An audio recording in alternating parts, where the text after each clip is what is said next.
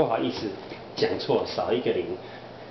大陆光是大陆有十三亿人口，所以你刀子来讲的话，我觉得中国人对吃东西比法国人还懂，所以选刀子的话，我会选中国刀。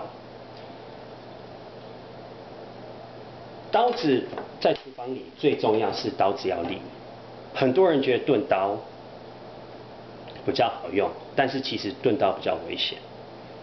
In the kitchen, a sharp knife is really, really important, and I emphasize the sharp part.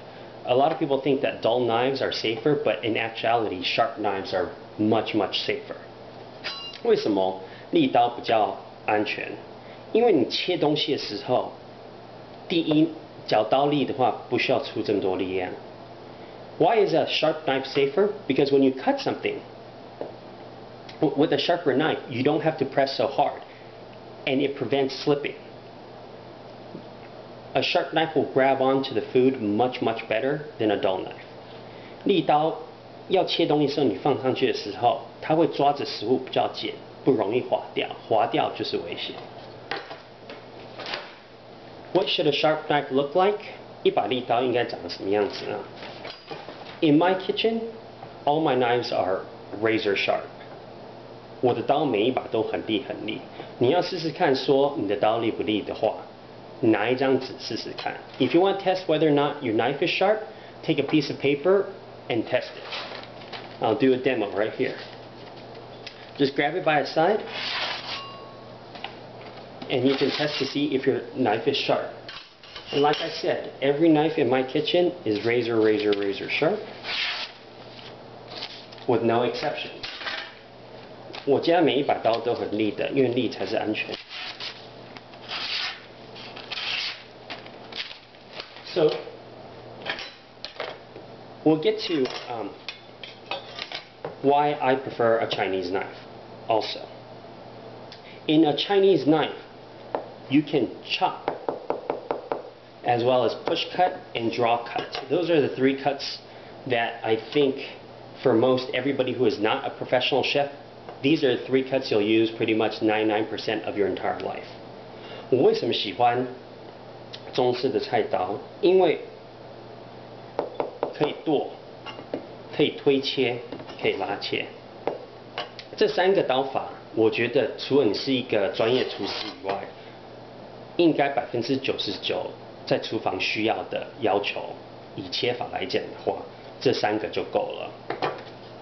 So, I'm going to start by teaching you basics of how to manipulate a knife. For me, you want a knife that's fairly well balanced. Um, I use what is called a pinch grip, so I shove my middle finger right up to the tang and pinch. The French call this the claw, but basically you're standing on your fingertips and pressing the knife up to the knuckles.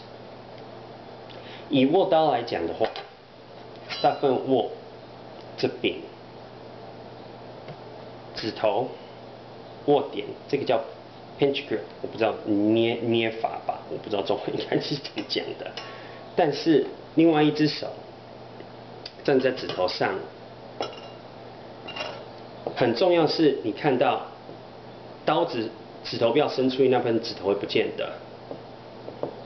刀子不应该碰到下面的指头。It's imperative that the knuckles touch the knife and not the fingers. And if your fingers move past the knife, move past your knuckles, I should say, you're going to lose a finger.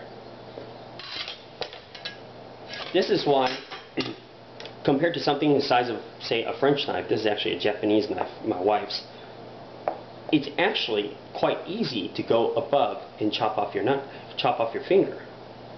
用小刀的来讲的话， 其实很容易抬太高了，把手剁断了，把指头剁断了。This is why I prefer the Chinese knives, because there's a lot of surface area.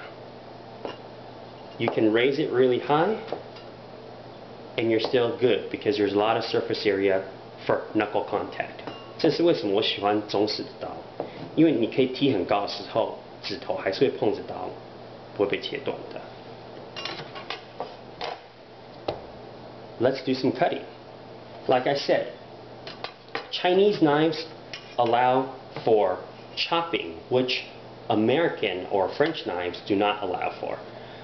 French knives allow for, however, push cuts.